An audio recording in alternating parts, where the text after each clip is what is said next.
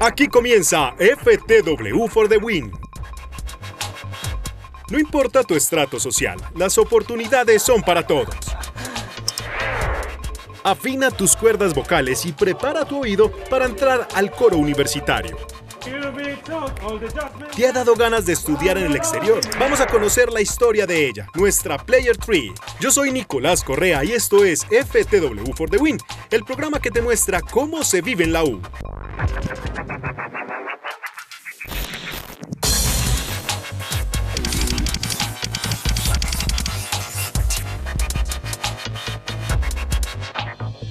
Es tiempo de comenzar. Nuestro primer jugador tiene la oportunidad de prepararse para el futuro en un ámbito que solicita el mercado laboral.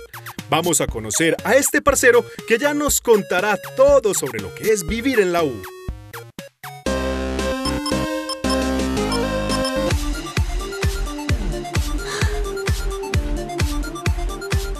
Hola amigos, ¿cómo están? Mi nombre es Salomón Mesa, eh, soy un estudiante del ITM de Robledo y yo estudio mantenimiento de equipos biomédicos y bueno, vamos a conocer la universidad.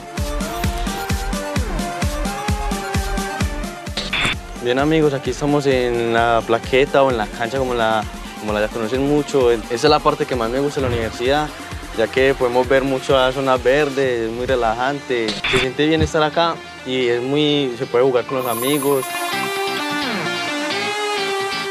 La primera vez que yo me vine a dar cuenta sobre las becas, estaba, estábamos en una clase, ya que me acuerdo, y estábamos, estábamos reunidos y un momento, de un momento a otro llegaron unos funcionarios de la secretaría a entregar unos folletos. En esos folletos decía muchos programas y en varias universidades. De ahí fue donde empezamos a ver muchos, muchos tipos de tecnologías. Hay uno, lo bueno de esto es que se pudo, se pudo haber elegido de tantas, de tantas universidades y de tantos programas uno en, especial, o sea, el que más te gustara. Aunque no fui de los primeros seleccionados, fue muy fácil. Primero los pones en una, en una página web, después tienes que, tienes que presentarlos, o sea, dar, la sustentación de que, de que los tienes o de que de lo que pusiste es verdad y ya simplemente te llaman a las dos o tres semanas a decirte si, si, si, si fuiste elegido. Y bueno, ya, ya estuvimos acá, vamos a ir a, otro tipo a otra parte de la universidad que también es muy agradable, entonces vamos allá.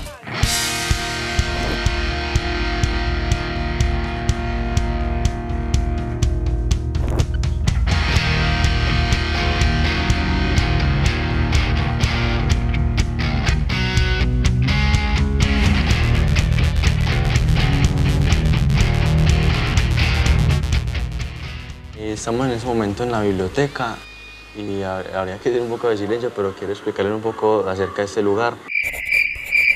Y es muy, es muy bueno venir acá a repasar y es casi necesario, temas que no se entienden y básicamente acá está todo lo que, lo que se ve durante los, cada semestre, entonces es un apoyo muy grande.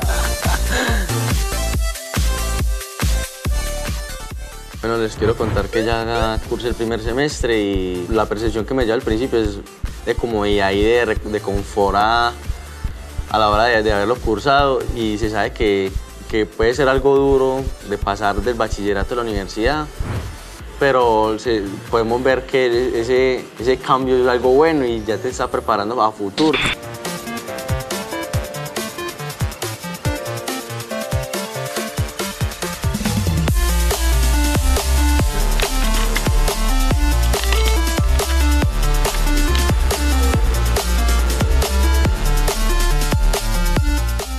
Era plaga y sabía hasta qué punto. O sea, lo, era y cuando tenía que ponerme serio, cuando tenía que hacer trabajos o eso, sí, pues había como una regulación de esto.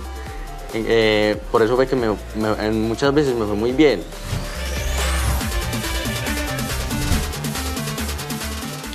Se puede sobreentender, es que esas becas se las ganan solamente los, los supertesos o los que siempre ganan, que siempre tienen cinco en los exámenes y eso, y no pues yo siempre he sido un estudiante normal. Eso es lo bueno, que no solamente ayudan a los super tesos, que por sí sí hay, hay unos tipos de becas que son para super tesos y otros que son como más para gente que no puede pagar en sí las, las carreras o eso. Probablemente si yo no estuviera beneficiado con esas becas, quién sabe si estaría estudiando, eso no se sabe, pero gracias a Dios por esas becas y personalmente lo siento, me siento muy agradecido porque pude seguir en mi proceso académico.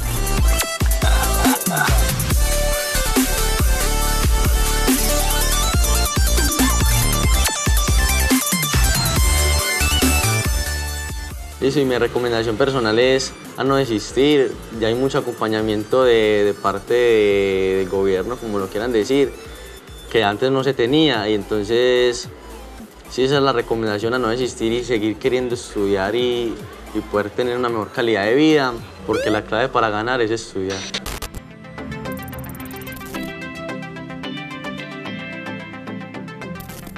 You win. Ya lo has dicho, Salomón, las oportunidades están, hay que aprovecharlas como tú lo estás haciendo. Vamos a hacer una pausa y al regresar, los expertos nos contarán por qué estudiar tecnología en desarrollo de software.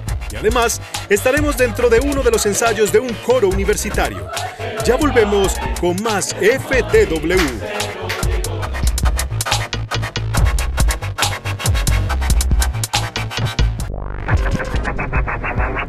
Regresamos a FTW for the Win, donde la clave para ganar es estudiar. En nuestro bloque anterior estuvimos con Salomón, un joven que se prepara para el mundo laboral estudiando tecnología en mantenimiento de equipos biomédicos. Es tiempo de llenarnos de razones para escoger qué se va a hacer cuando salgamos del colegio. Es el momento de hablar de la tecnología de desarrollo de software. En sí, ¿cuál es la pregunta? Eh, mi razón para estudiar desarrollo de software es... Espera. yo, yo mentalizo la cosa. Principalmente por cumplir un sueño, de alcanzar mis metas y salir adelante. A mi parecer algo espectacular porque nos encamina a todo este mundo de las tecnologías. Y sé que esto es un campo en el que hay mucho, como mucho trabajo en que desarrollarse en ese momento. Pues allá nos dijeron que eso en cinco años era todo. Es una carrera que me permite eh, enfocarme en las necesidades de la sociedad. Para verme en un futuro, ya sea cinco o menos, eh, mejor dicho, siendo un programador, eh, diseñar un software que ya sea ayude al medio ambiente o cualquier otra cosa. Tanto hospitalarias, de educación, de todo tipo. Pues bueno, la tecnología en desarrollo de software es lo que está manejando este mundo. Es algo que me apasiona demasiado hacer. Ya todo es con la tecnología, computadores. Mucha visión, sobre todo ahora que todo va en base a los computadores. Entonces creo que uno debe estar pues como muy actualizado en ese sentido. Es la carrera que se presta para aprender varios temas laborales. Entonces es como una base para futuros emprendimientos, ya sea eh, nuevas carreras como la ingeniería, que también es una parte pues muy buena. Me apasiona mucho los videojuegos y quería desarrollar una empresa que se base en ello y me di cuenta que se podían crear juegos a base de una programación. Me dieron las ganas, quiero estudiar esto, quiero hacerlo y quiero eh, incluir a otras personas para que hagan lo mismo que yo. Y sé que si uno le mete las ganas y el empeño que se merece, puede salir uno adelante y yo esta es una universidad que le ofrece uno muchas facilidades. También como para desarrollar nuestro proyecto de vida. Y gracias a esto quiero ser alguien en la vida y salir adelante. Esas son como, las razones por las cuales elegí desarrollo de software. Ya.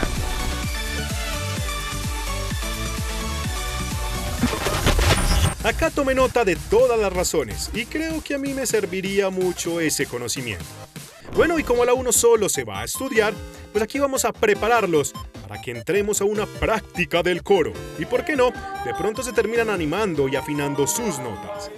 El clarinete dulcemente dice dúa, dúa, clarine. Es hora de comenzar. Presta atención.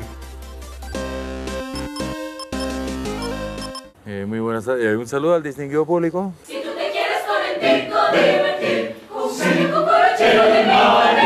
vi una convocatoria para el coro polifónico. El manicero llegó. Y fui a reunión pues como con el máster, él nos contó cómo iba a ser, pues porque apenas iba a iniciar el coro otra vez. Prueba qué rico maní. En el panfleto pues decía como que no se necesita experiencia, entonces eh, yo soy una persona que no tenía absolutamente nada que ver con la música, en absolutamente nada y mi amigo fue el que me, me convenció de entrar. Prueba qué rico maní.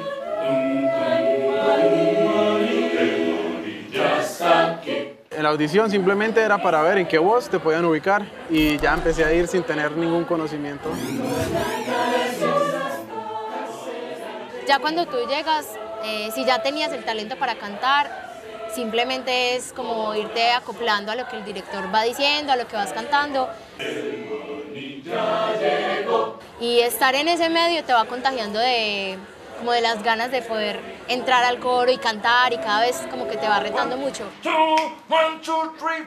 Estas actividades, tanto las deportivas como las culturales, en una universidad ayudan a, a estimular la formación integral de quienes participan en ellas, además de lo que se le ofrece a la comunidad en general a través de la disciplina artística o, o deportiva, el espectáculo, el trabajo artístico, el trabajo eh, deportivo. Me ha aportado mucho ya que en mi carrera vemos partes de música, vemos partes de audios para videojuegos y me ha servido mucho para la realización de estos. Al menos a, a mí me cambió mucho la, la experiencia universitaria porque si no fuera por el coro, eh, creo que sería muy, pero muy diferente. El, el coro me ha brindado muchas amistades, muchos eh, conocimientos, eh, experiencias únicas. Lo bacano de estar en el coro, muchas cosas, pues conocer gente nueva, conocer lugares nuevos, pues porque hemos tenido la oportunidad de salir eh, de Medellín. En la universidad tenemos un evento llamado el Gran Coro UPB. Eh, hemos participado ya en Montería y aquí en la ciudad de Medellín. Y hemos participado dos veces en el Festival de Música Navideña en Santa Marta. Eh, hemos tenido viajes, hemos tenido pues eh, mucho aprendizaje también de la parte musical, algo que no conocía de mí mismo. Eh, muchas personas que no hubiera conocido si no fuera por estar en ese grupo. Y, y nada, o sea, la universidad ha sido una experiencia súper genial.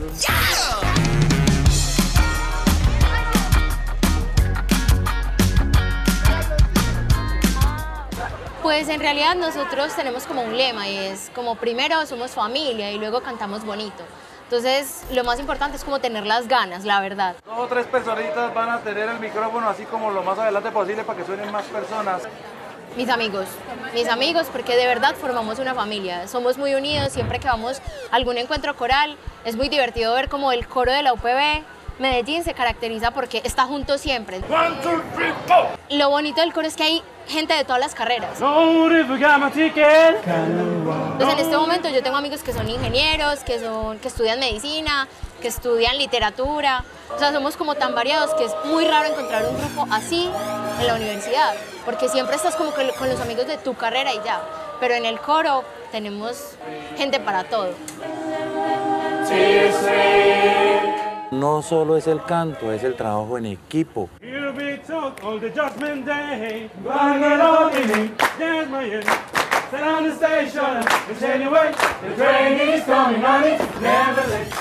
Es aprender valores humanos de, de- de aprendizaje psicosocial, etc. Y pues en particular en el coro UPB tenemos un eslogan que ya se ha convertido en, en los coros UPB a nivel nacional y es que es primero familia, después cantar bonito. Been on the world and I've been on sea. Tell me please where you Cuando estás en un grupo cultural en la universidad, la universidad te brinda lo que es matrícula preferencial y te da cierto beneficio para establecer un horario entre tus materias y la actividad en la que estás. Entonces nosotros ensayamos todos los días al mediodía hasta las 2. Cuando uno lleva mucho estrés de la carrera, em, salir de un parcial, ir para otro, tener ese ensayo a mediodía muchas veces es incluso relajante, incluso le sirve a uno para desestresarse. El coro sirve más como un momento de tranquilidad, como para despejar la mente.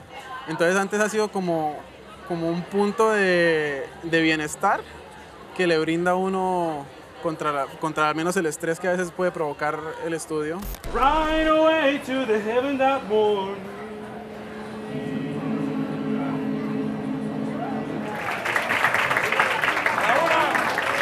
Perfect. La música mueve sensaciones en todos. Debería apuntarme en el coro de mi universidad.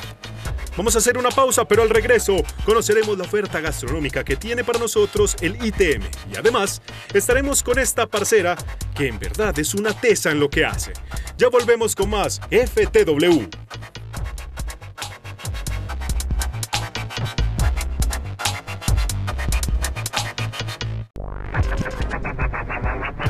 Seguimos con FTW, En el bloque anterior nos dieron razones para estudiar tecnología en diseño de software y también escuchamos con atención el trabajo que hace el coro de la UPB. Pero la verdad es que de tanto que hemos hecho hoy ya se me abrió como el apetito. Vamos a buscar algo de comer. ¿Qué más muchachos? ¿Madrugaron hoy o qué? Ustedes saben muchachos que aquí estamos trabajando por ustedes. ¿Qué me cogieron haciendo el menú? Hoy hay consomé de menudencia, arrocito a la valenciana, que es arrocito con pollo, la ensaladita que es una ensaladita especial, que viene con manguito y manzanita. Y si no quieren, pues ahí y pechuga también muchachos.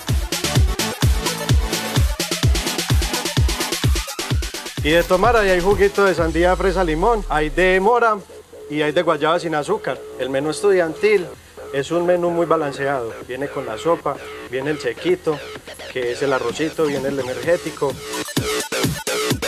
y viene la proteína, que es la carne, que hay cerdo, pechuga, le damos hígado, eh, res, hacemos torticas de, de, de carne y viene con el juguito. El ITM me buscó y me dijo, Daniel, qué bueno que sacáramos un menú estudiantil. Y empezamos a tomar nota de qué podíamos sacar, cómo lo podíamos hacer y lo sacamos pensando precisamente en los estudiantes. Pues es un menú más económico.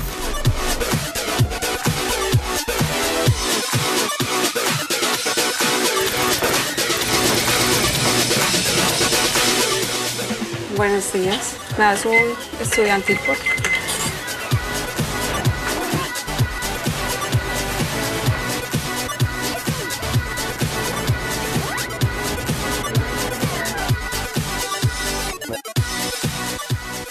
es muy económico. O sea, a todos los compañeros que están en este momento a nivel económico social precario, les queda muy, muy, muy asequible eh, este menú. Es definitivamente lo mejor que la institución ha podido hacer por nosotros. Es muy completo, es balanceado. Es delicioso, bien preparado, sazonado. Y creo que es muy nutritivo para el precio que nos ofrece el almuerzo estudiantil, que vendría siendo 4.600 pesos.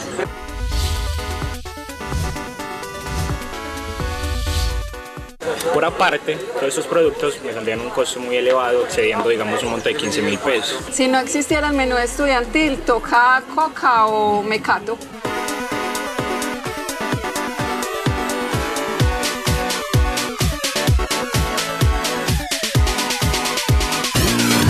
Es un triple B, bueno, bonito y barato. Mmm, qué delicia. Ya con nuestro estómago lleno, vámonos para la Universidad de Antioquia. Allí nos está esperando nuestra amiga Yasmín. Y es una tesa. Ya verán por qué. Hola a todos. Soy Yasmín González. Actualmente soy investigadora del Grupo de Investigación en Biomateriales Biomat de la Universidad de Antioquia. Y quiero mostrarles qué es lo que hago. ¡Vamos!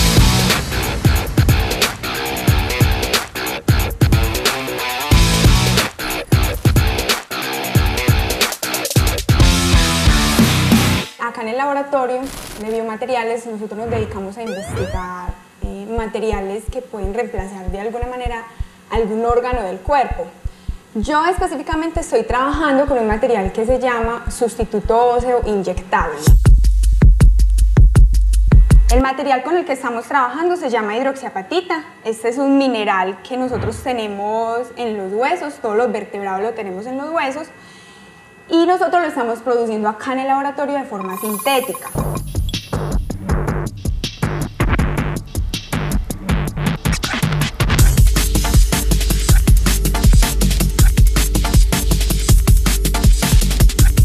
Lo que queremos entonces es no usar eh, implantes que sean duros porque es más complicado para el cirujano.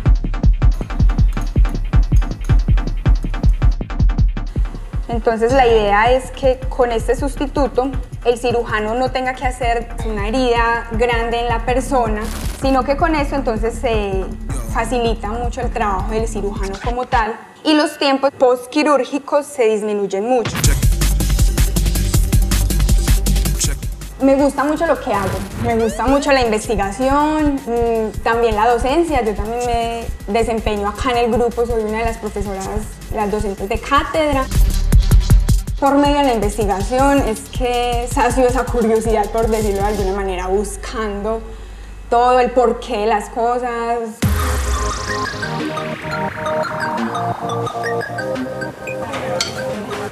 Estudié ingeniería de materiales acá en la Universidad de Antioquia.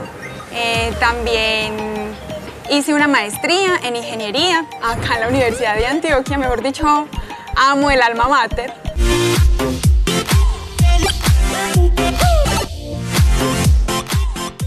Doctorado que yo hice se llama doctorado en ingeniería de materiales y el énfasis son los biomateriales, que son pues los materiales que se pueden utilizar para reemplazar alguna parte del cuerpo, algún órgano.